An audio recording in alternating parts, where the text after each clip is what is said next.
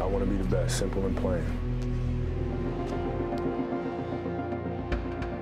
There's a choice that we have to make as people, as individuals. If you want to be great at something, it's a choice that you have to make. We all can be uh, masters at our craft, but you have to make inherent sacrifices that come along with that. You know, people don't really understand how obsessed I am with winning. It's not, I don't care about anything else on the basketball court but winning. Yeah, I mean, it's, it's, it's really um, simple. It's like whatever you're doing at that moment is what you're doing at that moment. you know, it's like that's where the obsessiveness is having attention to detail for the action that you are performing at the time you're performing it. And if you can have that kind of focus, you can't help but to have a certain level of, of, of obsession or attention to detail. Moving on. It's Kobe Bryant, 17 years old, with the hunger, the motivation, and a desire to be the best possible basketball player that I could be. Still waiting for a big smile out of you. You're up 2-0. What's the story? Are you not happy, or you're only half happy, or Still to be happy about. you're up 2-0? Job's not finished. Job finished? I don't think so. Okay. Uh, I'm, I'm thinking about the next round. Already? Of course. You got at least five days. Did you not enjoy it just a little? I'm gonna get close to the top of Mount Everest and just lay down and sleep for a week. Kobe, you won the MVP, you led the team to the finals. How do you characterize this season? Well, I mean, the goal was to win a championship. You know, it wasn't to win MVP or anything like that. It was to win a championship. So, you know, from that aspect, we failed. What is it about Detroit that gets you going like that? 04. You still remember it? Of course, never forget. Is, is that really the motivating factor? Do you think that every time you come here, that, that championship you guys lost gets into your head? Absolutely. Through injuries is not think about them because when the game itself is more significant than the injury, you don't feel the injury. The injury won't get in the way because it's not important to you. I just want it so bad, that's all. I just want it really bad. So, you know, it's just, uh, you, know, you just put everything you have into the game and then, you know, your emotions kind of flow out of you. And that feeling of playing with that rage was new to me, but I fucking loved it. I had all this pent up frustration that I just needed to let out. It was an avalanche, man. And, you know, I, there was nothing that was going to get in the way. There was nothing that was going to stop me. Sacrifice is a loaded word. I mean, there's, you have to make sacrifices every day in your life. If you have the ambition to reach your fullest potential in anything, you're going to have to have things that you inevitably give up. But to be honest, if they feel like sacrifices, you're probably not doing the thing that you were meant to do.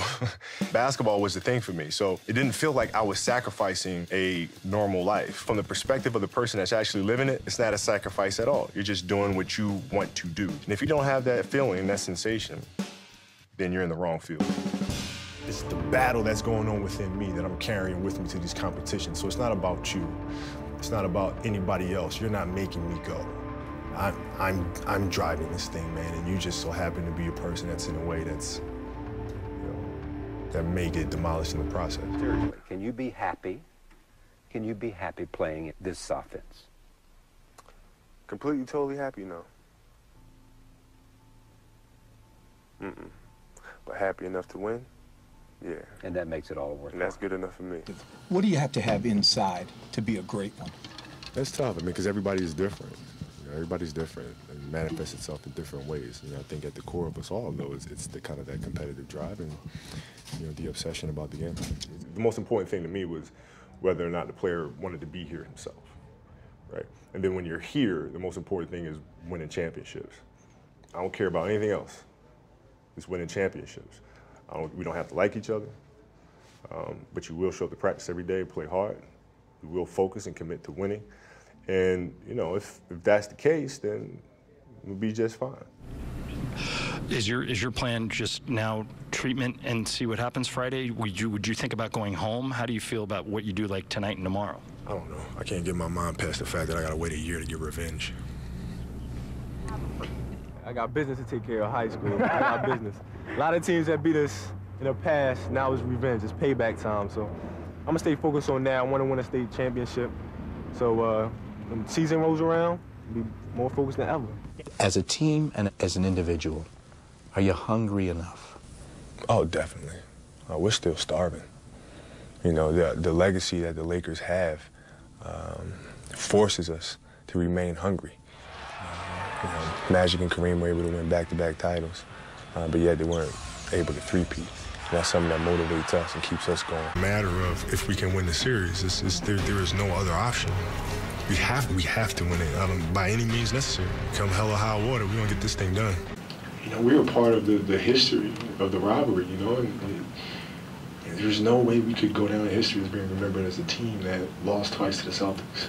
With all the history that's going on, like, there's, there's no way. There's no way. So above even winning the fifth championship, it was more like not disappointing the memory of this organization and the, the, the, the that's been there for, for decades. That was more important. Last few seasons, you got to a point during the season where you're showing up to the arena and the games mean nothing. You're playing, you know, I, that's a horrible feeling to have. Horrible feeling to have. And so, you know, um, I'm hell bent on making sure that we don't have a season like that. You, know, you want to make sure that you're playing late in the season for games that actually mean something, for games that, you know, have uh, playoff implications. Yeah. I knew that I was not going to be stopped. You know, so at the age of 18, this was my life right? So you can't possibly become better than me because you're not spending the time on it that I do. Even if you want to spend the time on it, you can't because you have other things. You have other responsibilities that are taking you away from it. So I already won. A person that just that took no day for granted. You know what I mean? Like maximize his talent. That's extremely important. You can have talent, but if you don't maximize it, if you don't try to you know, study your craft, if your craft isn't the most important thing to you, then I feel like you're shortchanging yourself. And so if they can look at my career and say, you know what, he, he was obsessive about what he did and reached the highest level of his potential, um, I'll be I'll be very happy with that. You will. Well, yeah, I think uh, you know the, the, focus and the intensity that you have to have. Um, you know, one through 14. You know, everybody has to be focused. Everybody has to be ready to go, and um, you know, you have to you have to play with that sense of urgency on every possession. Were you asking that question when you won the championship? 2000, 2001, 2002, your three-peat. What questions were you asking yourself during that time? How can we win another one? Because mm. every year, every time you win a championship, the next time you come back, it's always harder people are always gunning for you. So you, are you going to avoid surgery altogether until you absolutely have to? Or? I tell you what, you win a championship, I ain't doing nothing. I'm not touching it. Darn thing, leave it alone. Normally in New York, you know, I'll go out to dinner and you know, I'll see a couple of my friends or whatever. But that night before the game, I didn't go anywhere. You know, I sat in the room and uh, I thought about the game. You know, I wasn't going to be playing around. I come out here on on the court tomorrow. I don't care who's hurt. This season, we are winning this damn championship. I don't care what happens. And uh, that was the mentality. In fact, when O'Neal was suspended over an on-court incident this year, Bryant wore Shaq's number and took his game to another level, scoring 56 points in three quarters. Count it again for Kobe Bryant. Was that a statement? It was a statement. Uh, you know, that's the most upset I've ever been in a basketball game. You because you at one time maybe felt like people said, "Oh, you only win because Shaq is your teammate," and then that drove you, know, you to. I never, I, I, didn't, I, didn't, I never cared about when other people said that. It never bothered me that people said, "Well, you only win championships because you're playing with Shaq." It bothered me when he said it. You understand? So when he said it, I said, "Okay, you know what? That's it. Because you know what time it is. After we split apart, were you trying to get more more championships than me? Oh, absolutely. You were? Absolutely. And I knew you were going to get one. I knew you were going to get one because of the energy, you know, going into Miami and D Wade and everything that was there. I knew you were going to get that one. So I knew I had to get at least two or three. I wanted you to get that because I needed that. I wanted that. Like I wanted people to say, see, see, this is what they're missing here. This is what they gave up for right?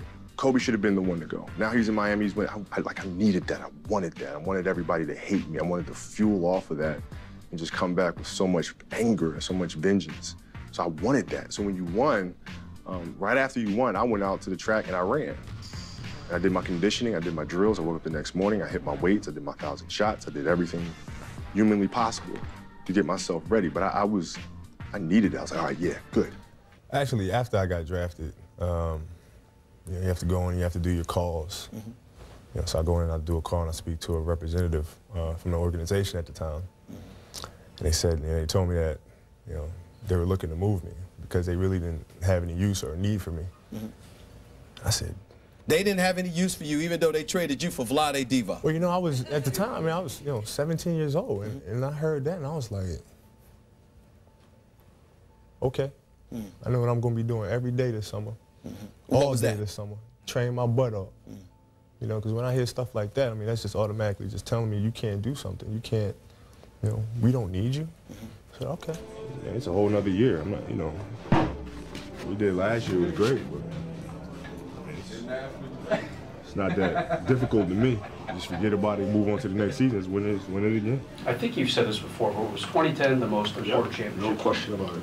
No question about it. No question. Because to lose that one and to be 0-2 to the Celtics, that's that is that is a non-negotiable. You cannot do that. I've seen a lot more of that face this season. The is that because of the challenges? Well, yeah, I mean that, that's it's the it's the drive, it's the rage that comes out. You know, when when that face happens, that that's that's the rage boiling over. How often does that rage boil over? It it, ha- it happens. It's been happening pretty you know uh, pretty often lately. Well, I, I think it's just you know it's just a matter of what's important to you, and what's important to you for for whatever reason. You know, I, I felt like um, I didn't feel good about myself if I wasn't doing everything I could to be the best version of myself. If I felt like I left anything on the table, um, it would eat away at me. I wouldn't be able to look myself in the mirror. Right? So the reason why I can retire now and be completely comfortable about it because I know that I've done everything I could to be the best basketball player I could be. Um, uh, it might not be a you know a sexy topic for everybody here to listen to. Right. But That's a critical part because you guys want to win a six championship. You got to understand that the recovery things that I do, this stuff. I mean, it's cutting edge. I mean, it's it's you have to be obsessive about the process. But like for you, would it have driven you crazy without, you know, going to the Olympics? Now you have something else to focus on besides what happened in the finals. It helps. It helps. It gives me something else to focus on and, and, and, take my competitiveness out on. And, um, but you know, I'm I bounce back pretty quickly. You know, not to say that uh, the loss doesn't sting because it does and it, and it will, but you know, I, I, I get back up quickly and, and move on to the next one and start thinking about revenge. No, you, you want to win. And Yeah. It's, it's, it's really, uh, it's hard, man. It's hard to be in that environment when, you know, we're literally like at the bottom of the league. Well, you're welcome to come hang out here. Thank you. Thank you. Thank you. It's I, would- tough. I saw a clip today that I, I feel like I have to show you because I, I must I must know what your reaction to this. Okay. is. So the Lakers had uh, an eight-game losing streak. Uh-huh. They beat the Celtics overtime. Great. This is from after that game. This got interesting. We'll come back to Force OT. You got some friends here. You feel me? We back in the building. Y'all, y'all thought we was gone. My man Jay Lane was doing his thing. Jay Hill doing his thing. Nick out there, Nick out there hitting his free throws. You know how he do it. You know, Jay Lynn going to the basket like it ain't nothing to it but to do it. You know what I'm Hey, saying? How Mike, do man, it. you got a nice suit on today, too, man. Appreciate that, Swag. You got Miz Wow. Now, would that happen if you were there? Would there be a celebration?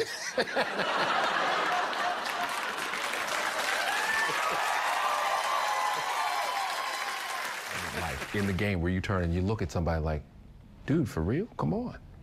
Oh, that that face. That face. Uh, well, yeah, that face is a is a that's that's the pissed off. What are you doing?